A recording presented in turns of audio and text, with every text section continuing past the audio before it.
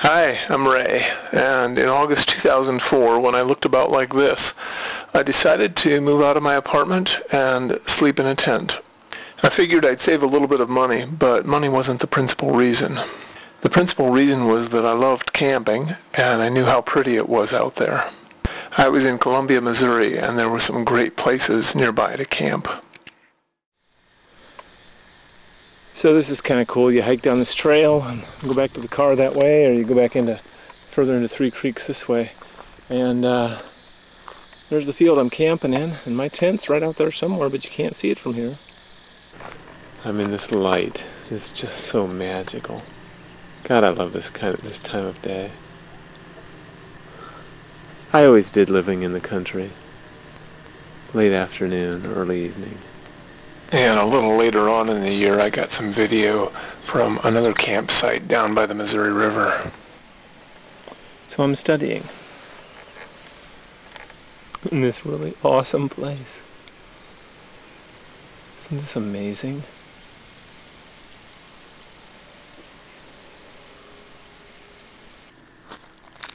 To make this work, I needed certain equipment, starting with a backpack. So I'm out here at uh, Pine Ridge Campground. There's my backpack I bought for fifteen dollars, and uh, it's got all these zipper pockets. I got, I got my contacts in this one. I got miscellaneous like you know, kind of loose tapes and stuff in that one. I got my eyeglass case in this one for my cool looking glasses. Got those two. These old things. Um, I got. Uh, my checkbook and pens in this one. I got my PDA, my handy PDA in this one. There's my PDA. And I keep the laptop computer in this one when I bring it, which I didn't now, but when I go to classes. And I got the clipboard and pads of paper in this one. And then this is the one I use most often. This contains all kinds of other stuff. So it's a handy little deal. I also needed a larger camping style backpack to carry my gear when I was going into places that my bicycle couldn't reach. When I was camping in places that weren't accessible by the Katy Trail or bicycle-friendly roads, I needed my car to carry my bike and my camping gear and my schoolwork stuff. It's a little crisp out. It's in the 20s, I think. So the tent stuff is there in the uh, in the trunk, colors aren't right. And there's a tent. Um, my fingers were freezing, man. I was just carrying that tent back. It's a nice little place up here, Lit Creek. And uh, let's see, here's a sign right there.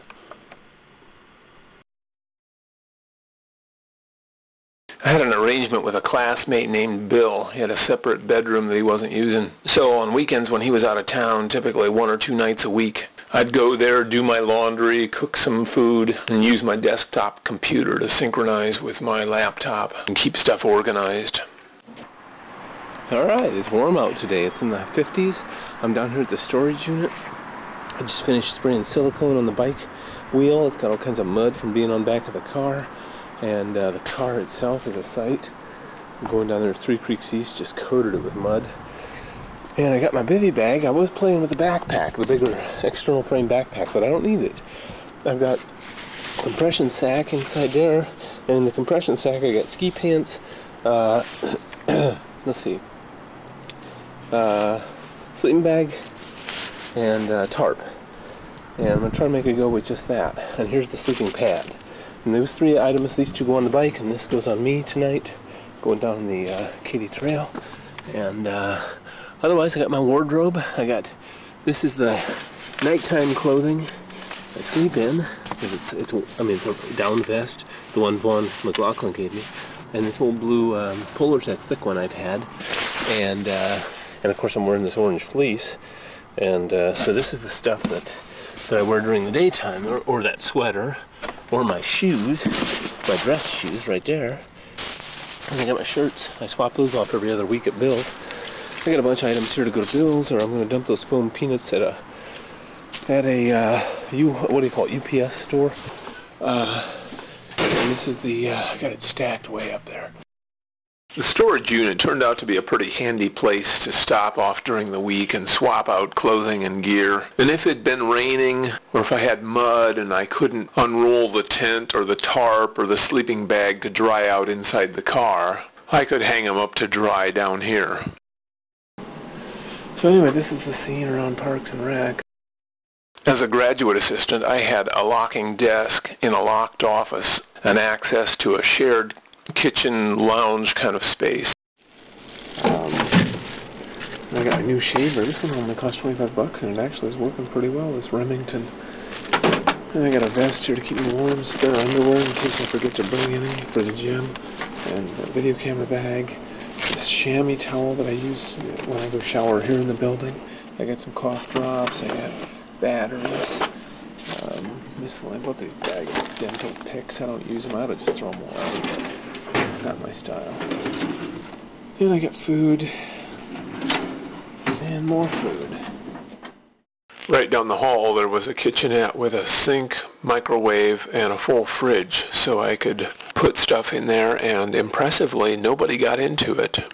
When I'd get up in the morning, I'd drive to the university parking lot where I had a permit, take the bike off and bike over to the gym, work out there, usually go down to the MKT trail for a three mile run. And here's a speeded up view of the first mile of that run. It was a little bit downhill and that helped, but I don't know whether it was the fresh air or what. For whatever reason, I was running the fastest times of my life. It felt like this thing of sleeping outdoors was very good for my health.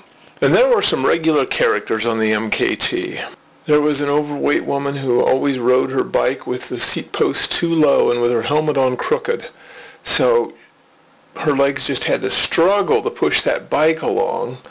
And I yelled after her one time. She, she really seemed to avoid eye contact. And I yelled after her one time, may I make a suggestion? And she just kept on going. I was going to suggest she'd find it easier if she raised her seat a bit.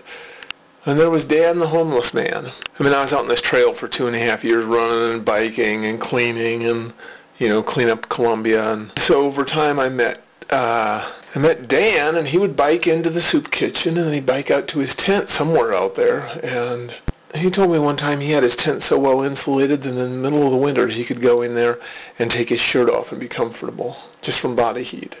And there was this guy who always walked with his head kind of sideways, and I assume he had some kind of, you know, mental condition.